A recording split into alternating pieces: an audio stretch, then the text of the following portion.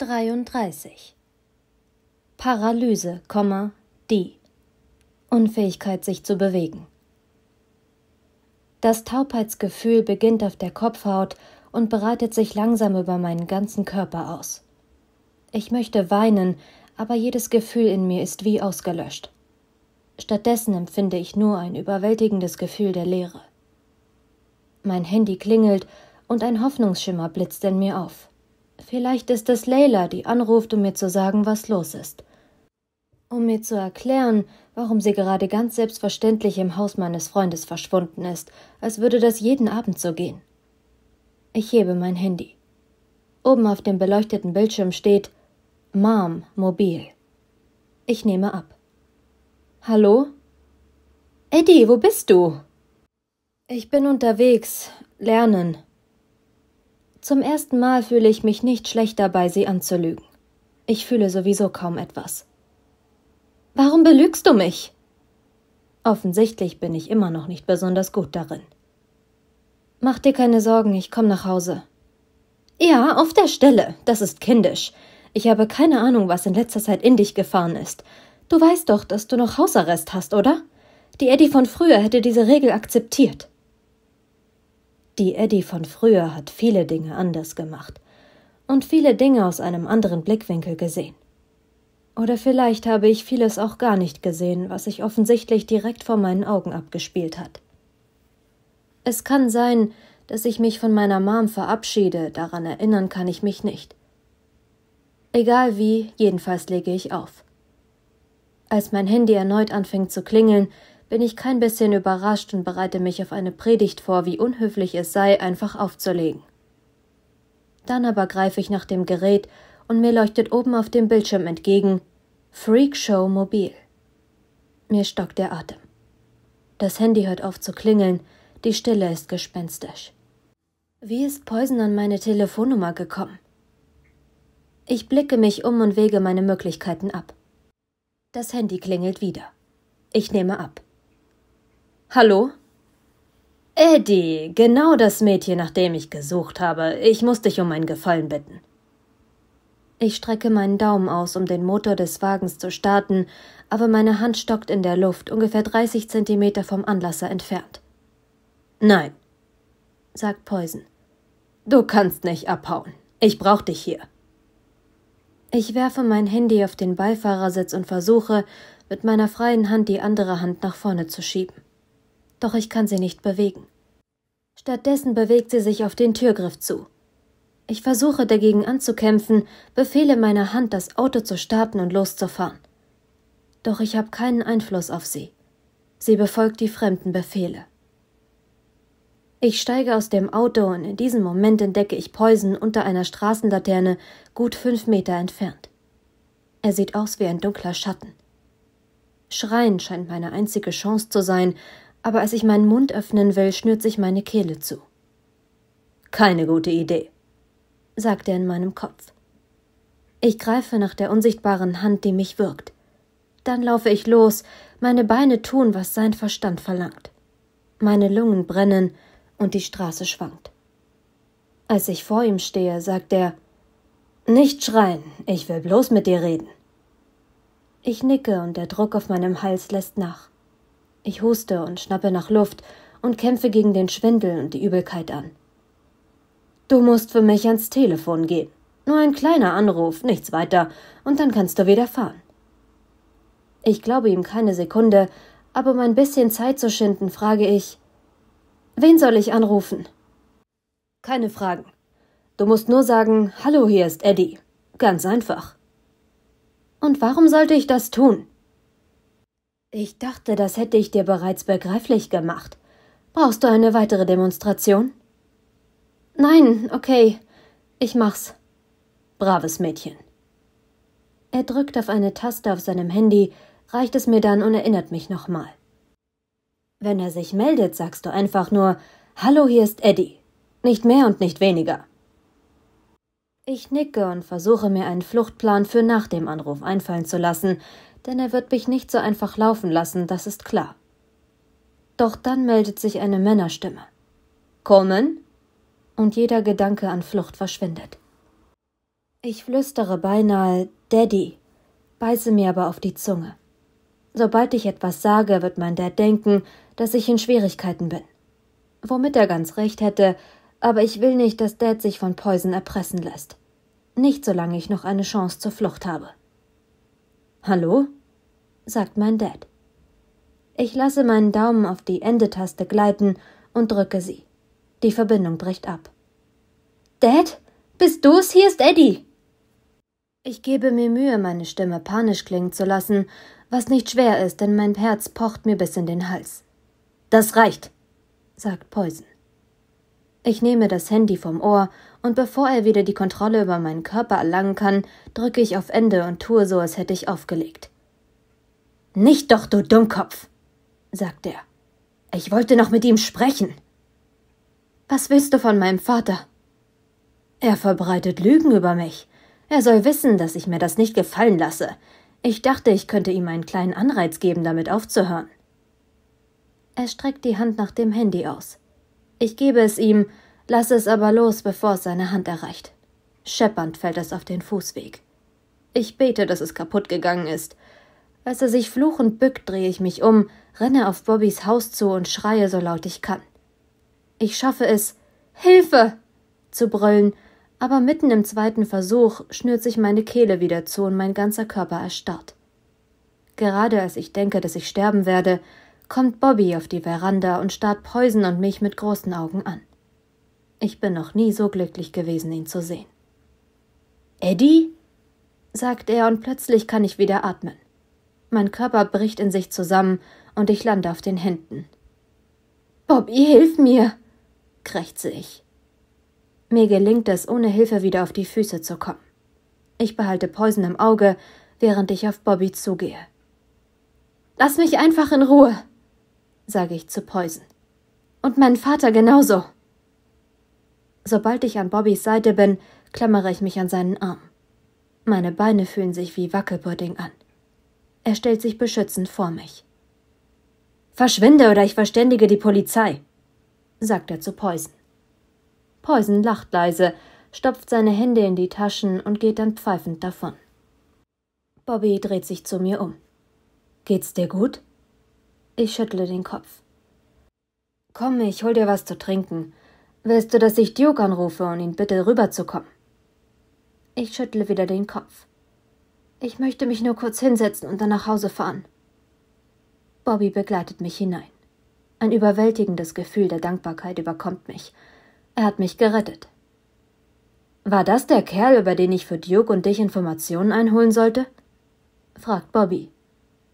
Ja, Danke, dass du mir geholfen hast. Kein Problem. Die Tür gleitet mit einem Summen zu und er schiebt den Sicherheitsriegel vor und gibt einen Code in den Handflächenleser ein. 34. Normlos. Absolut keine Normalität in der gegebenen Situation. Ich sitze schweißgebadet im Bett. Meine Decke hat sich um meine Beine gewickelt, so dass ich mich kaum bewegen kann. Ich kämpfe mich frei, schwinge meine Beine aus dem Bett und schaue mich in meinem dunklen Zimmer um. Irgendetwas hat mich geweckt und ich versuche mich daran zu erinnern, ob es ein Albtraum oder ein Geräusch war. Gerade als ich zu dem Schluss gekommen bin, dass es ein Albtraum gewesen sein muss, piept mein Handy. Ich suche in der Dunkelheit nach dem leuchtenden Bildschirm und taste blind auf meinem Nachttisch herum. Es liegt nicht dort. Dann fällt mir wieder ein, dass ich es unter mein Kissen gelegt habe, bevor ich eingeschlafen bin. Ich ziehe es hervor. Beide Nachrichten sind von Leila. In der ersten steht Hilfe. In der zweiten Vergib mir. Ich taumle ins Zimmer meines Dads. Dad! schluchze ich, pack ihn an der Schulter und rüttle ihn wach. Dad, ich brauch deine Hilfe. Es geht um Leila. Er setzt sich schlaftrunken auf, fährt sich erst mit der Hand durch die Haare und greift dann nach der Digitaluhr auf seinem Tisch. Was? sagt er, als er mich endlich anschaut. Ich hätte die Alternativen ausloten sollen, aber ich hab's nicht getan. Ich hatte es vor, aber Trevor ist erst spät gegangen und ich war müde. Ich hätte vielleicht etwas sehen können. Eddie, beruhig dich. Worum geht's überhaupt? Leila ist in Schwierigkeiten. Was für Schwierigkeiten? Ich weiß es nicht.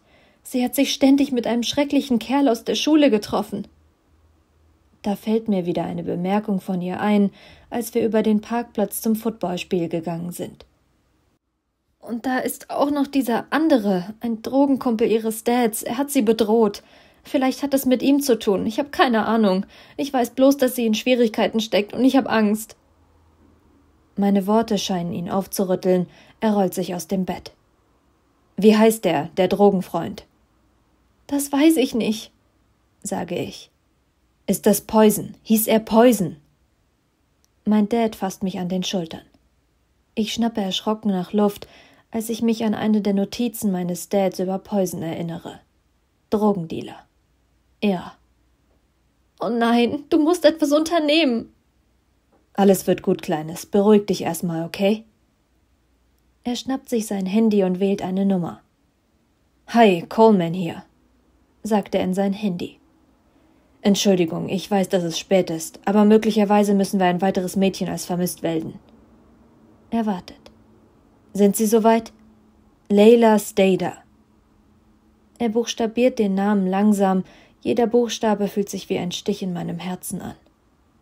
Und schicken Sie unverzüglich jemanden rüber zu Mr. Paxton. Ja, nein. Okay, geben Sie mir bitte Bescheid, sobald Sie irgendwelche Informationen haben. Danke. Er legt auf und schaut mich dann an. Der Blick in seinen Augen macht mir Angst, als würde er bereits vom Schlimmsten ausgehen. Ich lege mich in sein leeres Bett. Die Stelle, die er eben verlassen hat, fühlt sich in meinem zitternden Körper warm an. Die Matratze neben mir senkt sich ein bisschen, als er sich hinsetzt und seine Hand auf meinen Rücken legt. Alles wird gut. Sag das nicht. Das weißt du doch gar nicht. Ich hätte nie wegziehen dürfen. Sie braucht mich und ich bin nicht da. Was hättest du schon tun können, Eddie? Wenn du da gewesen wärst, hätte das auch nichts geändert. Ich hatte zu viele verschiedene Alternativen in der Zukunft gesehen, um mich von diesen Worten trösten zu lassen. Vielleicht doch. Ihr darf einfach nichts passiert sein. Ich kauere mich zusammen. Zum Ausloten ist es noch nicht zu spät. Vielleicht kann ich etwas sehen. In meinem Hirn herrscht Chaos, und die Angst in meiner Brust macht es mir unmöglich, mich zu entspannen. Es funktioniert nur dann, wenn ich es schaffe, mich zu konzentrieren. Eddie, es hat keinen Zweck, sich Sorgen zu machen, solange wir keine konkreten Informationen haben. Der schwarze Bildschirm meines Handys verhöhnt mich. Ich wähle wieder Leylas Nummer. Keine Antwort. Ich mach dir ein bisschen Milch warm. Sagt mein Dad, steht auf und geht auf die Tür zu. Ich will keine warme Milch, fauche ich. Er schweigt eine ganze Weile. Möchtest du Mom anrufen? Der Vorschlag lässt mich aufschluchzen und ich ziehe ein Kissen an meine Brust. Ich will nicht mit Mom sprechen. Sie hat mir gesagt, dass du sie nicht zurückrufst. Warum gibst du ihr die Schuld an der Scheidung? Die Frage ist berechtigt, aber ich bin wütend auf ihn, dass er sie mir gerade jetzt stellt. Es war unser beider Entscheidung, das weißt du doch, oder? Ich möchte nicht darüber sprechen. Meine Freundin ist in Schwierigkeiten. Alles andere ist mir egal. Ja, das ist jetzt am wichtigsten. Aber demnächst musst du mit ihr sprechen. Deine Mom vermisst dich. Das ist das Letzte, was ich im Moment gebrauchen kann. Dass er dafür sorgt, dass es mir noch schlechter geht. Ich habe Angst und bin traurig, und ich will, dass er in dieser Angst und Trauer bei mir ist. Stattdessen versucht er mir zu erklären, dass ich meiner Mutter das schlechte Gewissen nehmen soll wegen einer Entscheidung, die sie beide getroffen haben. Sie ist mir egal, mir wird sofort klar, dass ich das nicht hätte sagen dürfen, denn sein Gesicht wird blass. Es ist meine Schuld, okay? Mit diesem einen Satz scheint er um hundert Jahre zu altern. Seine Schultern sacken nach vorne, seine Mundwinkel zeigen nach unten, seine Miene ist voller Schmerz. Was? Ich wollte den Sektor verlassen. Ich konnte nicht mehr länger dort bleiben und mit ansehen, wie du in einer Welt aufwächst, die nur halb real ist.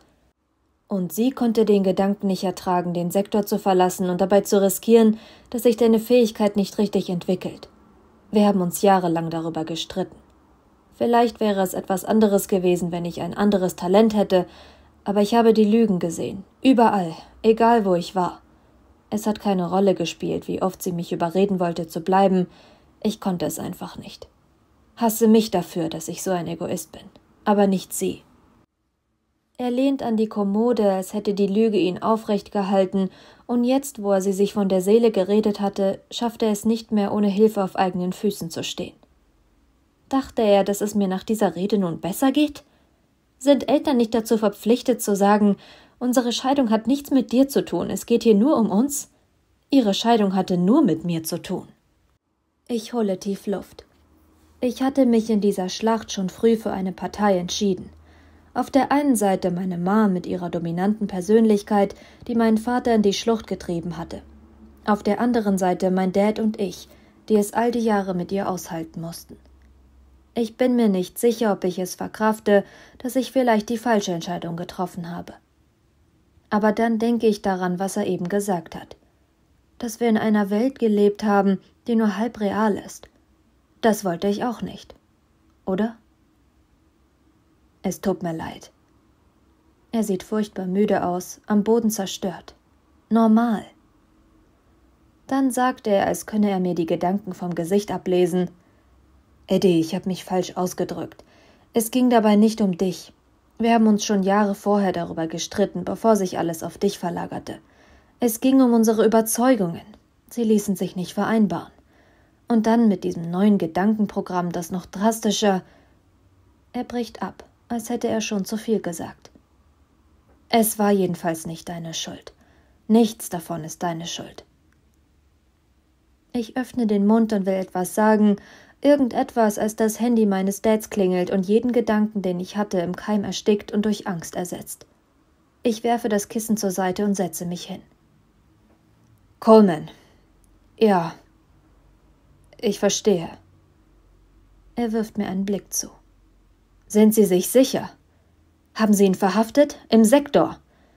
Naja, stimmt schon, das habe ich gesagt, aber ich kann meine Tochter hier nicht allein lassen.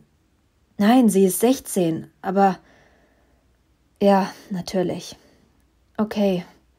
Eine Stunde, ich werde dort sein. Danke. Bis dann. Er lässt sein Handy langsam sinken. Die Furcht hat jeden Muskel in meinem Körper betäubt, und ich bin völlig erstarrt, während ich auf seine Erklärung warte, was passiert ist. Sie wissen im Moment noch nichts Genaues. Wir sollten also keine voreiligen Schlüsse ziehen. Was haben Sie gesagt? Wo ist Leila? Ihre Eltern haben sie seit heute Morgen nicht gesehen. Aber nur weil sie nicht zu Hause ist, heißt das nicht, dass ihr etwas passiert sein muss. Ein Officer überwacht das Haus. Wenn sie zurückkommt, kann er mich sofort informieren. Er geht zum Schrank und zieht eine Reisetasche hervor. Und ich verspreche dir, dich auf dem Laufenden zu halten. Mich auf dem Laufenden zu halten? Wo willst du hin? Er stellt die Tasche auf seine Kommode und fängt an, Kleidungsstücke hineinzuwerfen. Meistens brauche ich nicht mehr als ein Video des Verhörs, um herauszufinden, ob jemand lügt oder nicht. Aber Mr. Paxton ist ein geschickter Lügner. Ich muss sein Kraftfeld spüren, um ein paar Untersuchungsergebnisse zu verifizieren. Falls er zufällig wissen sollte, wo Layla ist, hoffen wir, dass wir diese Information aus ihm herauslocken können. Das Amt fliegt mich in einer Stunde in den Sektor. Kannst du bitte jemanden anrufen, der bei dir bleibt, während ich weg bin? Jemanden anrufen? Ich habe keine Freunde. Ich hab doch schon mehrere deiner Freunde kennengelernt. Wie wär's mit dieser Stephanie? Die sah doch ganz nett aus. Ich kralle mich an der Ecke seines Bettlakens fest. Ich will mitkommen. Tut mir leid, ich fliege mit dem Privatjet des Amts und dafür hast du keine Freigabe. Kann ich die nicht bekommen? Sie ist meine beste Freundin. Bitte, Dad. Edison, es tut mir leid. Diese Regeln haben ihren Grund. Ich kann es mir nicht leisten, mir um deine Sicherheit Sorgen zu machen, wenn wir Leila finden wollen. Das verstehst du doch. Natürlich tue ich das. Er zieht den Reißverschluss seiner Tasche zu. Versprich mir, dass du jemanden anrufst, sagt er und schaut prüfend in mein Gesicht, als ich mir eine Antwort zurechtlege. Ich senke meinen Blick. Ich belüge dich nicht, Dad. Du brauchst das nicht zu überprüfen. Tut mir leid, ich weiß, dass du mich nicht anlügst, und ich bin dankbar dafür, dass ich dir vertrauen kann. Ich hoffe, dass du auch mir eines Tages wieder vertrauen wirst. Er hebt seine Hände, um sie mir auf die Schultern zu legen, zögert aber. Im Moment kann ich ihm nichts versprechen. Zu viele Gefühle wirbeln in meiner Brust, ich kann sie nicht alle einordnen. Er verschwindet im Badezimmer, und als er wieder herauskommt, trägt er einen Anzug. Er wirft mir einen besorgten Blick zu. Ich rufe jemanden an. Danke. Ich melde mich, sobald ich gelandet bin. Er küsst mich auf die Stirn. Ich ziehe ihn fest an mich, und dann ist er weg. Ich stehe ganz allein in seinem Zimmer und reibe mir die Arme. Die Uhr auf seinem Nachttisch zeigt halb vier. Der Bildschirm meines Handys ist immer noch schwarz. Als ich mit den Fingern darüber fahre, blendet mich das Licht und ich muss die Augen zukneifen. Ich gehe meine Kontakte durch, zögere aber, Trevor um diese Uhrzeit anzurufen. Bei der Nummer meiner Mom halte ich inne. Mein Daumen zittert. Endlich drücke ich ihn herunter und höre, wie es viermal klingelt. Eddie, was ist los? antwortet ihre schlaftrunkene Stimme. Es geht um Leila, sie wird vermisst. Dad ist auf dem Weg nach Hause. Es sieht nicht gut aus, Mom. Ich höre, wie ihre Nachttischlampe angeht. Was? sagt sie ernst, aber dann begreift sie. Ach, Eddie, das tut mir so leid. Was kann ich tun? Ich weiß es nicht. Ich hab Angst. Eine Zeit lang atmen wir beide nur. Ich weiß, dass sie wütend auf mich ist, weil ich sie auf Abstand gehalten habe. Ich frage mich, ob sie mir das jetzt zum Vorwurf machen wird. Ich rufe ein paar Leute an und sehe, ob ich helfen kann. Wenn sie Leila finden, möchte ich mich um sie kümmern, denn ihre Eltern werden es vermutlich nicht tun. Heiße Tränen laufen an meinen Wangen herab. Das wäre toll, Mom. Danke. Warum rufst du nicht Trevor an? Ich bin mir sicher, dass er vorbeikommen würde. Woher weißt du von. Ich wische mir das Gesicht mit dem Handrücken ab. Leila hat mich auf dem Laufenden gehalten. Ich vermisse dich. Er scheint ein toller Junge zu sein, Eddie. Ich lächle ein bisschen. Ich vermisse dich auch. Alles wird wieder gut, okay? Okay. Langsam fange ich an daran zu glauben. Ich lege auf. Ich würde Trevor ja gerne anrufen, aber es ist wahnsinnig früh.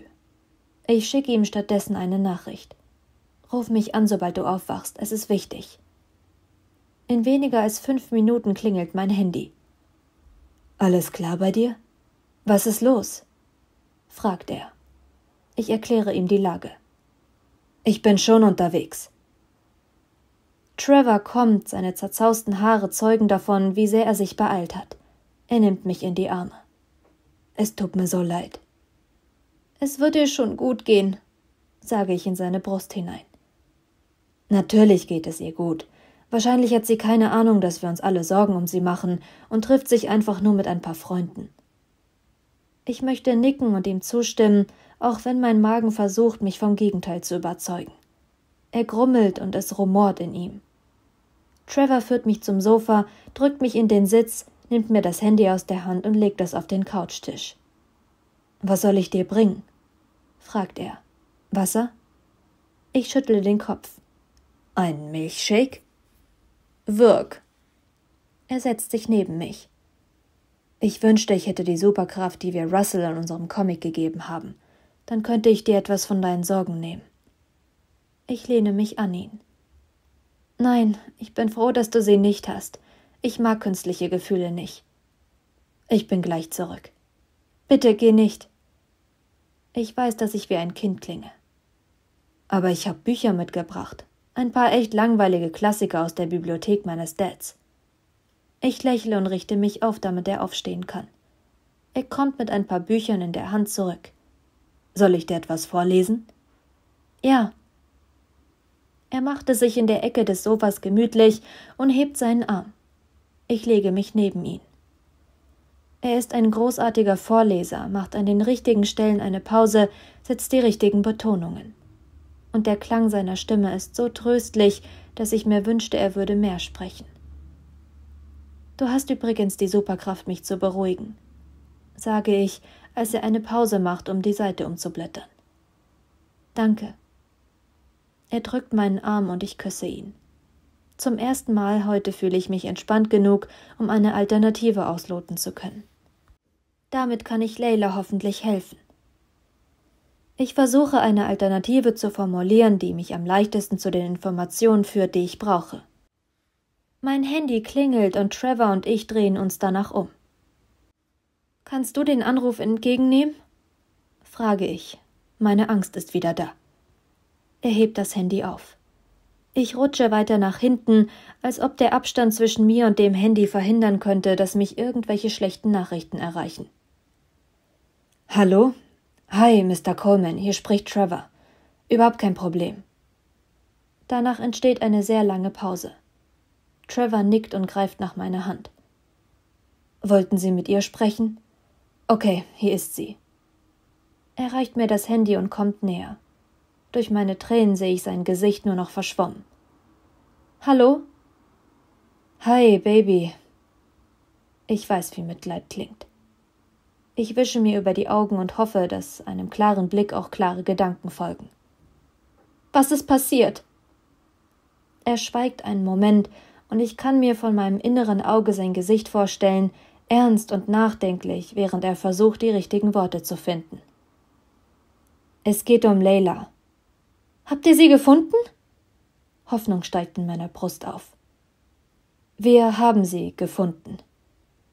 Sie ist gegangen. Wo ist sie hin?